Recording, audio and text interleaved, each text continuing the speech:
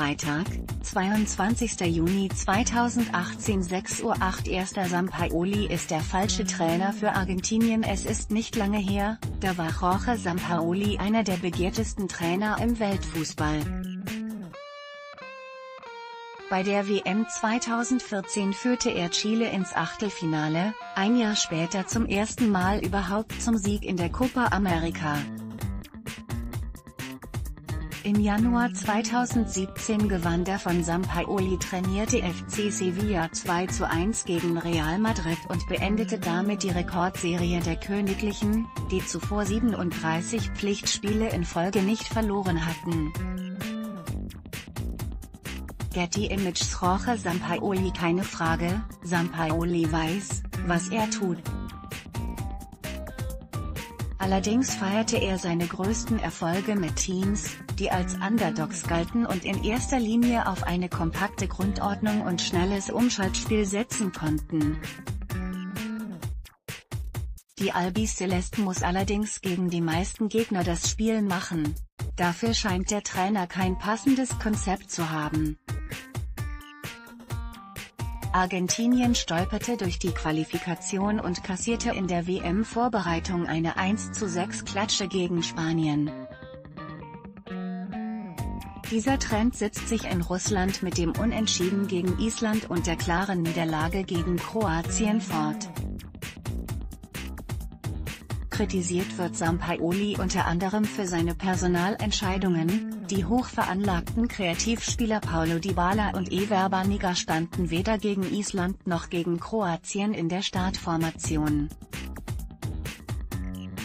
Aber auch die taktische Grundausrichtung stimmt nicht.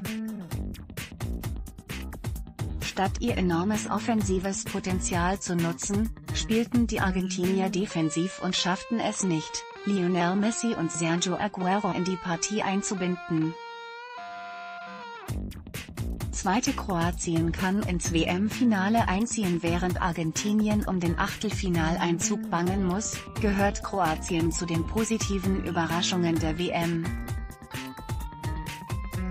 Ein Blick auf den Spielplan zeigt, wenn die Kroaten so weiterspielen wie bisher, können sie sehr weit kommen.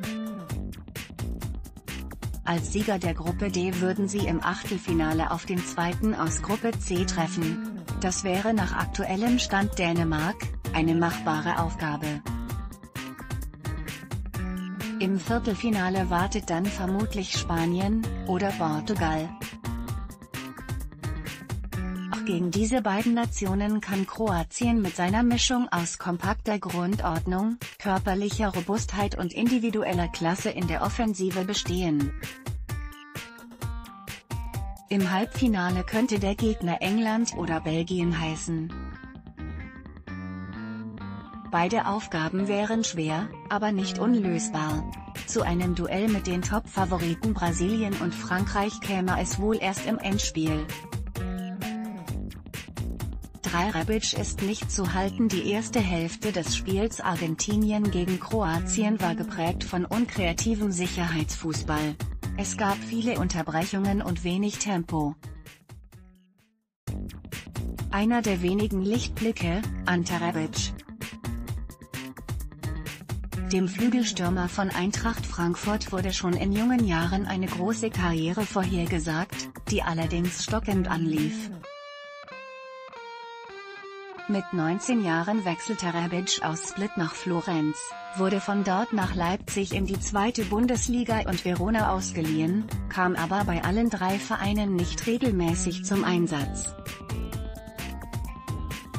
Erst in Frankfurt ging es bergauf. Vor einem Monat schoss er die Eintracht mit zwei Toren zum DFB-Pokalsieg gegen die Bayern. Das Spiel gegen Argentinien könnte man als seinen internationalen Durchbruch bezeichnen. Durch gute Laufwege, trickreiches Spiel und Durchsetzungsstärke beschäftigte er meist mehrere Gegenspieler. Rebic war von den Argentiniern nicht zu halten. Nach der Pause wurde es noch besser, mit seinem schönen Volleyschuss leitete der 24-Jährige den Sieg der Kroaten ein. Sollte Rebic ein weiteres Spiel dieser Güteklasse abliefern, wird er auch für Eintracht Frankfurt nicht zu halten sein. PDF-Download Spielplan und Ergebnisse PDF Größe 351 bitte.